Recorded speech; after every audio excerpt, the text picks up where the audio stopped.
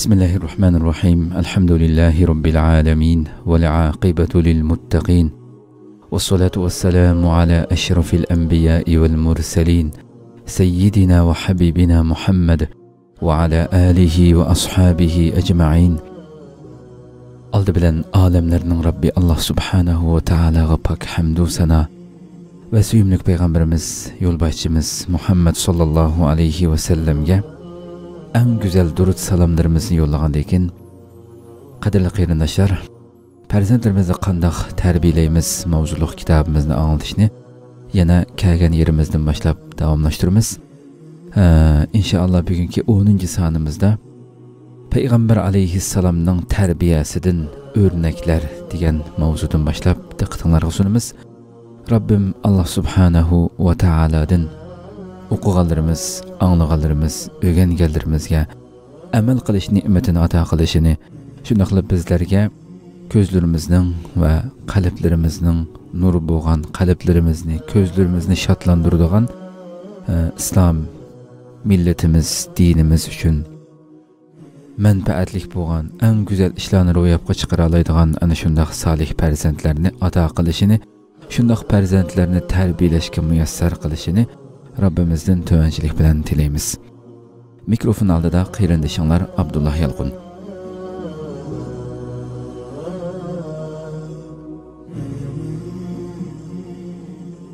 Peygamber aleyhisselamның tərbiyəsidən örnəklər. Birinci, balalarına rastgele buluş. Abdullah ibn Amir radiyallahu anhu mundaq deydi. Bir günü anam beni öyge çağırdı. Kirsem Peygamber aleyhisselam öyümüzde iken. Onam manga kel sana bir narsa beraman devidi payg'ambar alayhissalom onamdan bolangizga nima bermoqchisiz deb so'radi onam xo'rma berarman deb javob berdi bu vaqtda payg'ambar alayhissalom onamga agar siz bolangizga bir narsa bermasangiz sizga bir yolg'on aytganning gunohi yeziladi dedi ha o'ylab boqayli bu hadis abu davudning sunani Abu Davud nomli hadis toplamining 4-cü tom 455-ci betida rivoyat qilingan hadis.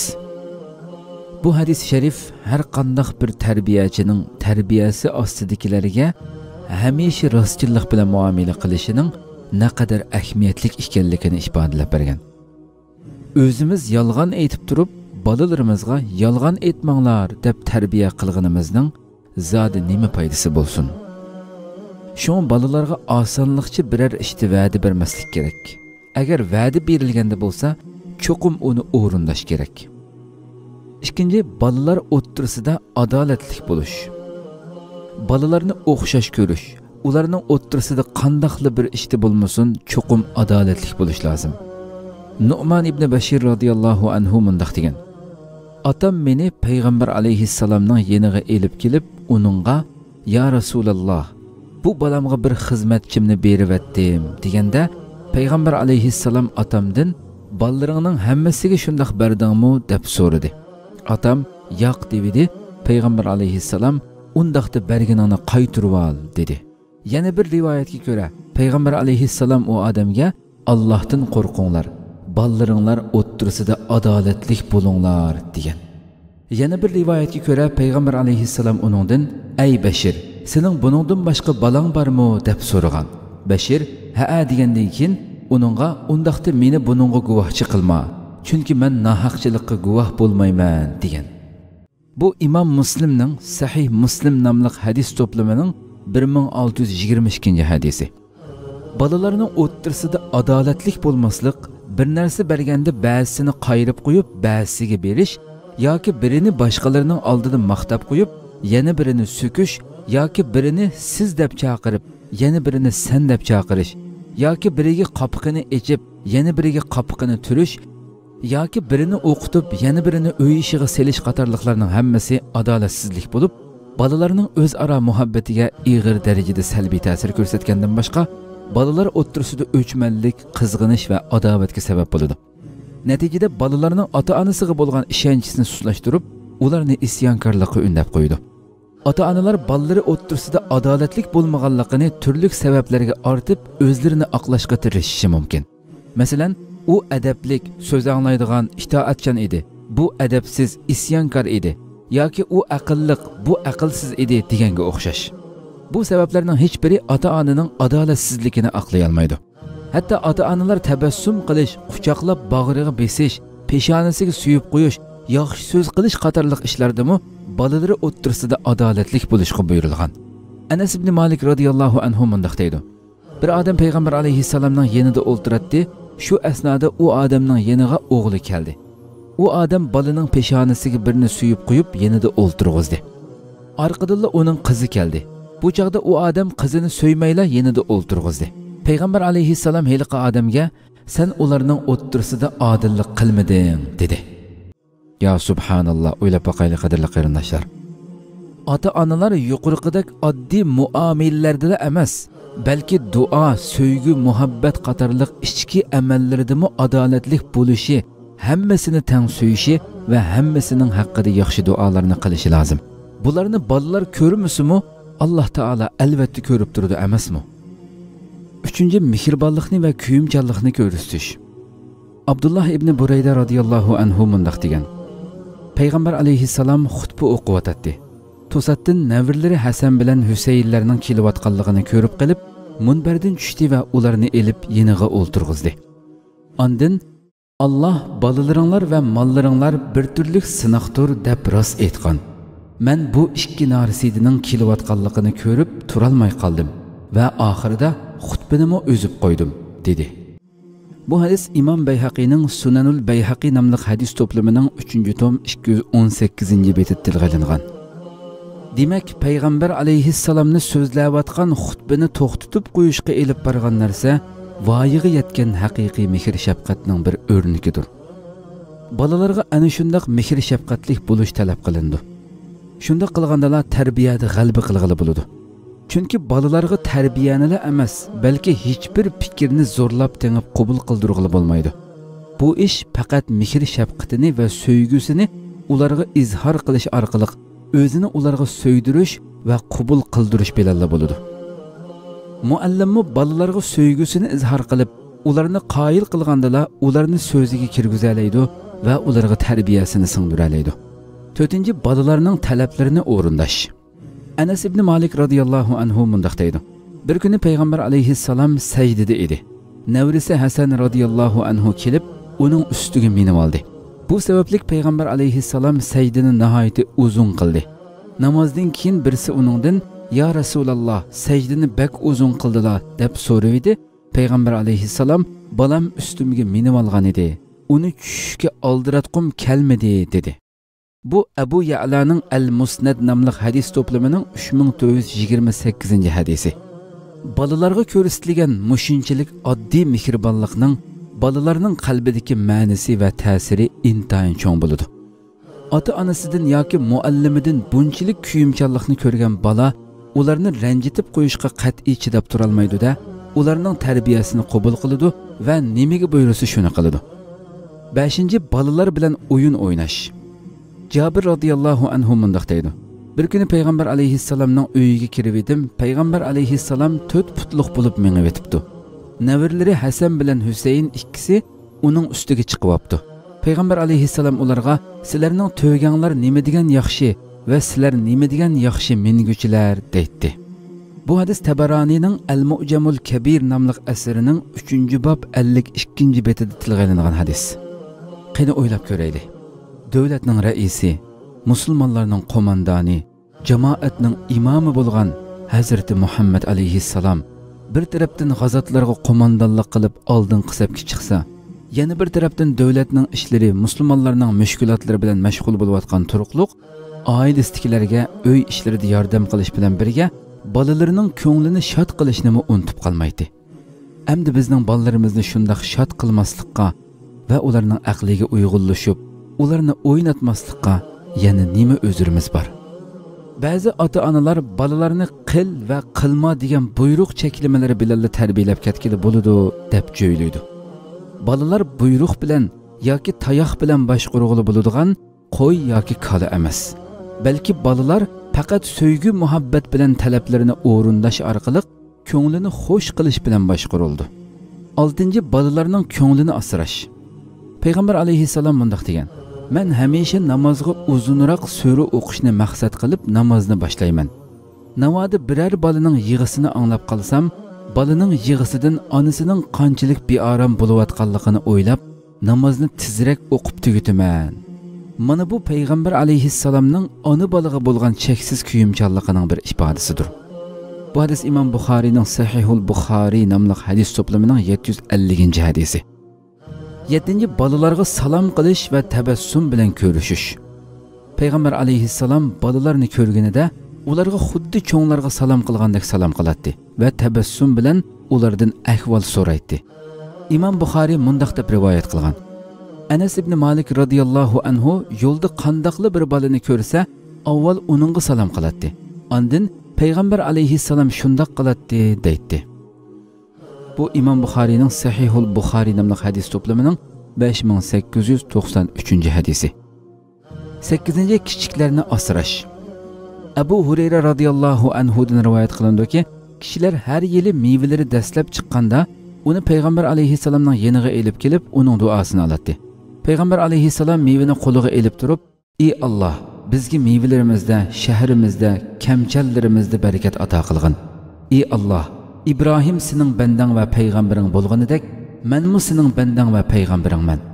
U Mekke üçün dua qılğandak, men Medine üçün dua qılman deydi. Andan bu mevini ailenin en küçük balısını çağırıp onunla beretti. Bu İmam Müslim'nin Sahih Müslim namlı hadis toplumunun 1373. hadisi.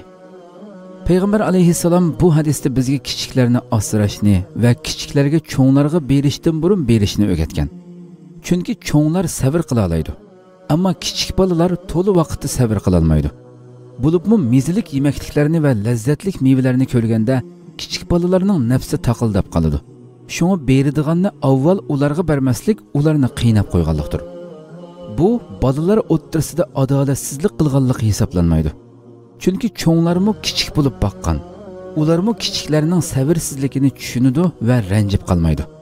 Navoda cho'nglar ranjib qolsa ularga chiroyli tushuntirib qo'yish kerak.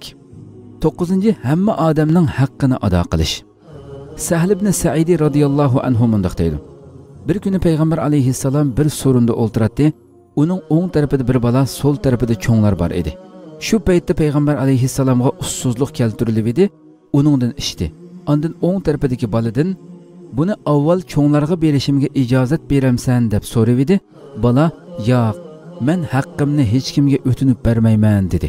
Shuning bilan payg'ambar alayhissalom qo'lidagini bolaga berdi.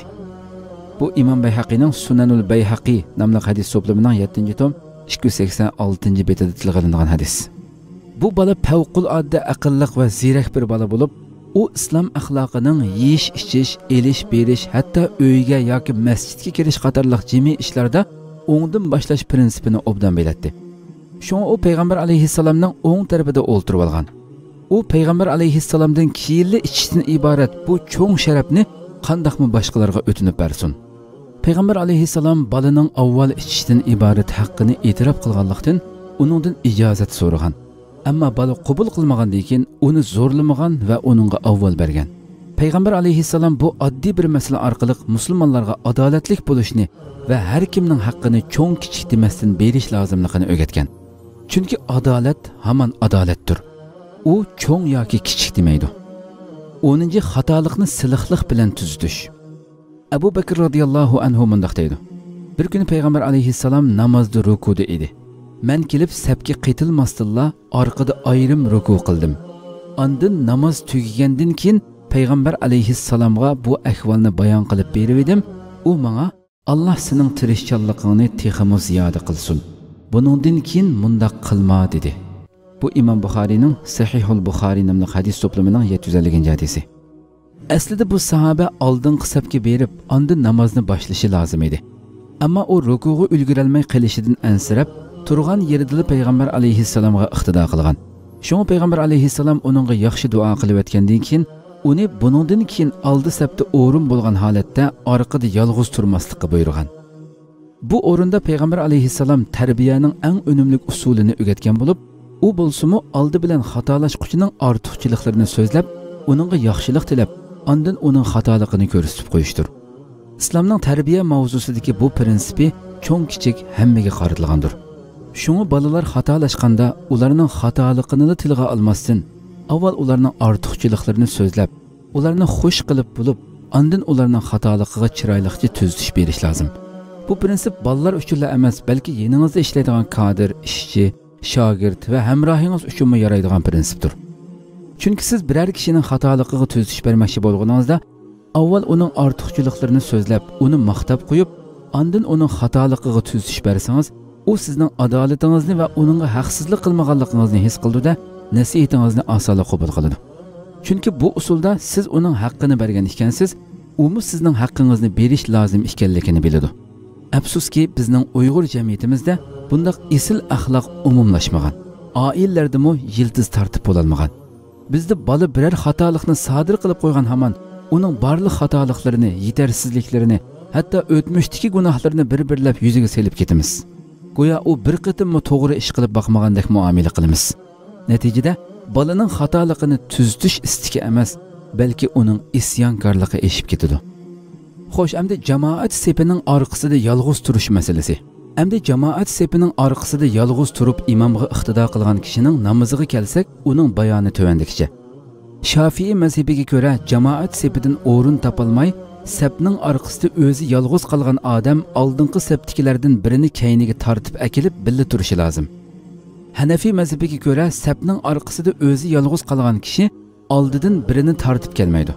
Sapga kirish uchun namozda turib bir sap miqdori mangsimu namozi buzilmaydi uningdan ko'p mangsa namozi buziladi maliki mazhabiga ko'ra jamoat sepidan o'rin topolmay sapning orqasida o'zi yolg'iz qolgan odam turgan yerida namoz o'qiydi oldingi saptikilardan birini tortib akelmaydi hambaliy mazhabiga ko'ra sapning orqasida o'zi yolg'iz turgan odamning namozi buziladi uni qayta o'qish lozim keladi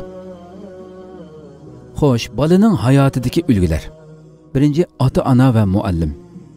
Bolalarga ulgu bo'lish orqali tarbiyalash usuli barliq tarbiya usullarining ichida ta'sir va unum jihatdan eng g'albilik usul ekanligini tarbiya mutaxassislari ta'kidlamoqda bola ota onasidan va tarbiyachisidan yaxshilikning yo'llarini o'rganadi va islom axloqi bilan axloqlanadi shunga bola tarbiyalash har qanday bir ota ona va tarbiyachi uchun o'zlarini isloh qilib olish axloqini to'g'irlab olish fursati bo'lib bu ularning bolalarni islomiy tarbiyalash ishida g'alaba qilishining muqaddimasidir.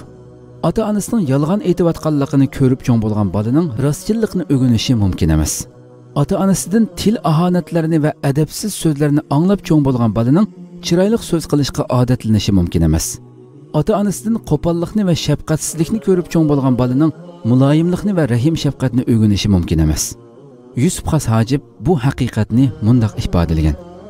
O'g'il qiz sababi ota ham ona buzilsa qiliqi tuzalsa yana o'g'il qiz xuy payli bo'lsa yomon yomon qilgan ota bularni hamon ikkinchi bolalarni eng esil ulgiga bog'lash ota onaning bolalarga o'zlaridanla ulgu ko'rsatishi kifoya qilmaydi balki bolalarni o'zlaridanmi esil va mukammal ulgu bo'lgan hazrati muhammad alayhissalomga bog'lashi zarurdir bu payg'ambar alayhissalomning tarjima holini g'azatlarini ish izlarini so'zlarini va go'zal axloqini bolalarga hamisha so'zlab berish va astoydil o'gitish bilan bo'ladi sad ibn abu vaqqos roziyallohu anhu mundoq deydi. Biz bolalarimizga payg'ambar alayhissalomning qissalarini xuddi qur'on o'rgatgandek o'rgatdik Munda qilish bir tarafdan bolalarni shijoat, qo'rqmaslik va chidamchanlik qatorliq esil axloqlar bilan suhbatlanishga ko'ndirsa, yana bir tarafdan ularning payg'ambar alayhissalomga bo'lgan tunishini, sevgi muhabbatini va bog'lanishini kuchaytirdi. Bolalarni yana Hazrati Abu Bakr, Umar, Osmon va Ali radhiyallohu anhumlarga o'xshash mashhur sahobalardan boshlab qahramonlikda, taqvolikda ulgulik sahobalarning Imom Azam, Imom Shafiy, Imom Ahmad va Imom Maliklarga o'xshagan mujtahid olimlarning har qaysi zamonlarda o'tgan ulgulik musulmonlarning Xolid ibn Valid, Salohiddin Ayyubiylarga o'xshagan islom qo'mondonlarining shundoqla bizning Uyg'ur tariximizda o'tgan Mahmud Qashqari, Yusuf Qas Hojib, Sutuq Bug'roxon, Abduqodir Damollam, Abduxoliq Uyg'ur qatorliq ulgulik zotlarning qissalarini ko'p o'qib berish lozim. Cho'nglarda so'z bilan amaliyat birdek bo'lmaslikning xatiri. bola tarbiya jihati o'rganganlari va anglaganlari bilan oilasidagilarning maktabdagilarning va mahalladagilarning amaliyatining zid kelayotganligini ko'rganida hayronliqda qoladi bu ahvol bolaning tarbiyasi uchun intayin ziyonliqdir Мәсәлән, аны балаларга раст сөйләш тугрылык насихатларны кылып әтеп, аркыдылла уларга "Маңа бирис телефон урса, мені өйдә юк таңлар" дейді. Аты балаларга самими ва тугры булыш хакында насихатларны кылып куеп, өзі содада башкаларны алдайды, какты сукты кылды. Muallim o'quvchilarga saxtalik va aldamchilikdan saqlanish haqida tarbiya berib turib, imtihonda balalarning ko'chirmakashlik qilishiga yo'l qo'ydi. Ana balalarga chiroyli so'z qilish va mehr shafqatlik bo'lish haqida nasihat qilgani bilan o'zi eg'izini yig'olmaydi. Bolalarni adabsiz so'zlar bilan haqoratlaydi. Erini g'ururiga tegadigan so'zlar bilan ayiblaydi bolalarga qo'pollik bilan muomala qiladi.